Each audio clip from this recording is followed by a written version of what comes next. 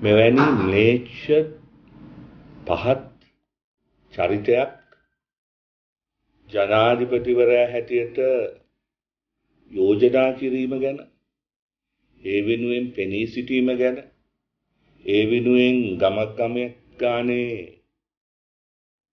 Canvassing යාම පිළිගන්න මං ගිහිල්ලා මේ ඡන්දෙ ඉල්ලීම ගැන මම මේ රටේ ජනතාවගෙන් සමාව ගන්න. ඊට පස්සෙන්ම එක්සත් ජාතික පාක්ෂිකයන්ගෙන් ඡන්දය අරගෙන එක්සත් ජාතික පාක්ෂිකයන්ගේ නායකයාගේ ලැබිය යුතු තන්තුර ඔහු ලබාගෙන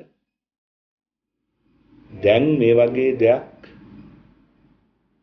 කරාම මට නම් ඒ ගැන සතෙක් කියලාවත් කියන්න බැරි තරමට මට නම් ඒකට වචනයක් නැහැ. බොහෝ අයත් මට කිව්වා. අද මට හම්බ වෙන අය හැම එක්කෙනෙක්ම කියන්නේ මෛත්‍රීපාල සිරිසේන කරපු දේ ගැන සිංහල භාෂාවෙන්වත් අපි දන්න භාෂාවෙන්වත් ඒ තරම් පහත් දෙයක් කරලා තියෙන්නේ ඒකට වචනයක් නැහැ. නමුත් අනිත් පැත්තෙන් මම මේ ජනතාවට කියන්නේ මේක සෑම වලාකුලකම රිදී රේඛාවක් තියෙනවා වගේ මේක හොඳ දෙයක්. මොකද අපි මේ අය පත් කරගත්තා මොහු තමයි පත් කරගත්ත වෙලේ ඉඳන්ම අපේ කකුලෙන් ඇද්දේ. අපේ ආර්ථිකය පස්සට ඇද්දා. අපේ අපි පොරොන්දු වෙච්ච ඒ නඩු හොයාගෙන යනකොට පස්සෙන් ඇද්දා. ගෝඨාභය රාජපක්ෂ අත්අඩංගුවට ගන්න හදනකොට ඒක පස්සෙන් ඇද්දා. ශිරන්ති රාජපක්ෂ අත්අඩංගුවට ගන්න හදනකොට පොලිස් නිලධාරීන්ට බැන්නා.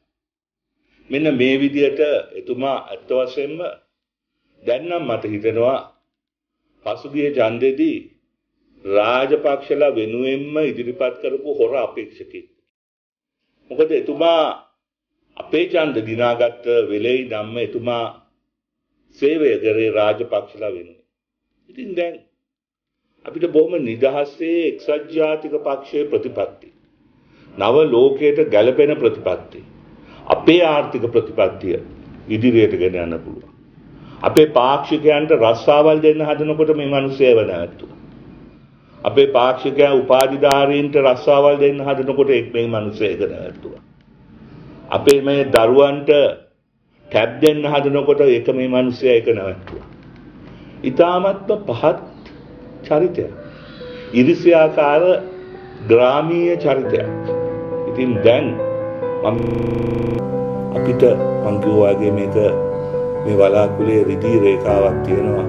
ඒ නිසා 16 වෙනිදා අපි පාර්ලිමේන්තුවේ යලි රැස්වුණාම අපේ සංඛ්‍යාව පෙන්නලා යලි වතාවක් අපි මේ රටේ බලය බාරගෙන තනි එක්සත් ජාතික පක්ෂ ආණ්ඩුවක් හැටියට